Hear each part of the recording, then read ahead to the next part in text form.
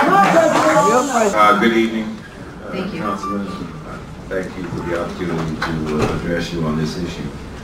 Uh, I am opposed to SB 54, and I would urge the council to go on record in favor of what the federal government is asking us to do, and join the other cities that uh, also believe that way. The primary reason that I agree with this is that uh, I believe in law, rule of law, and constitution. I believe in also doing morally what is the right thing to do. And I believe that our legislature and our governor and other officials should do the same. When uh, sheriffs and government officials take an oath, they pledge to obey the rules of the law of the land, not just wherever their city is. For California to go against the federal government the way it's doing, uh, really, it's unlawful.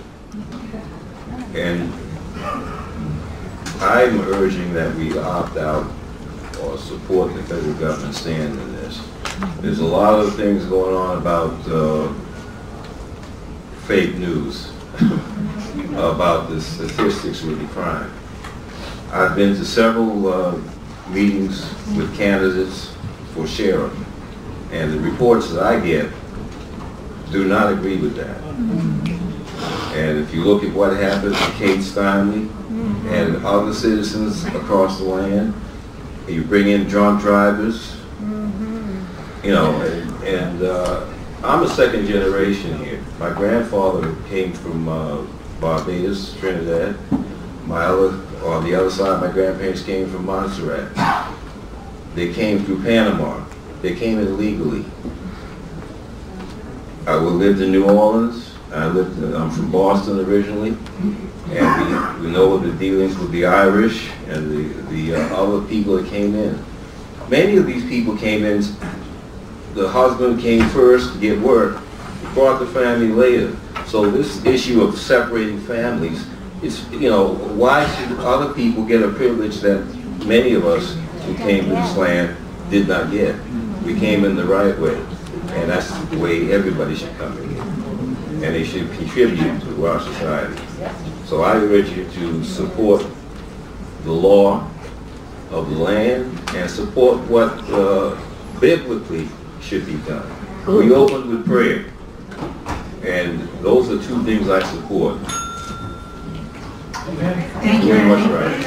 We will now hear from Chris Navarro. Good evening, everyone.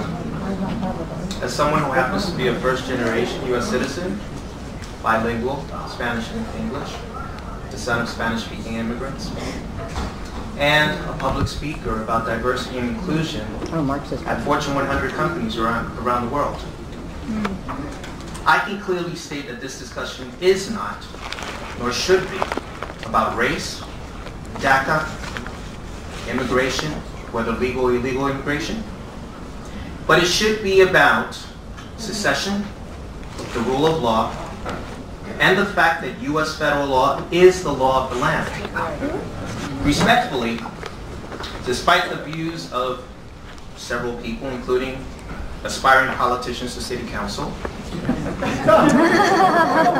I am in support of the proposed resolution, as I believe the city of Santa Santa Clarita would be exercising the very will of the people, protecting our rights as citizens of these United States against the backdrop of overzealous state politicians willing to subvert the very document that grants us this liberty and freedom to assemble today to discuss this very matter, the U.S. Constitution.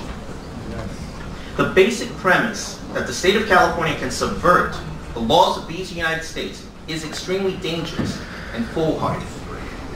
We must recognize that in regards to federal law, in this specific case, immigration law, and the execution and enforcement thereof, the United States Constitution has preserved those rights to the U.S. federal government and not to the states. Under our federal system, as many people have already quoted, the Supremacy Clause, which is part of Article 6, Clause 2 of the Constitution, is the cornerstone of our dear Constitution. And it clearly states, this Constitution and the laws of the United States which shall be made in pursuance there- thereof, and all treaties made of which shall be made under the authority of the United States, shall be the supreme law of the land. And the judges in every state shall be bound thereby, anything in the Constitution or laws of any state to the contrary notwithstanding. Further, James Madison, one of our founding fathers, in the Federalist Papers number 44 wrote, "The power to make all laws which shall be necessary and proper for carrying into the execution the foregoing powers, and all of the other powers vested by this Constitution in the government of the United States, or any department of officer thereof." So rightly or wrongly, and regardless of our personal opinions and desires, time and again, the United States Supreme Court has ruled that U.S. federal law is supreme. And today, as this foolhardy effort is being made by the state of California, the Supreme Court will, if this case should reach its doors, rule in favor of the U.S. federal government. That's right. Yeah. Yeah. Yeah.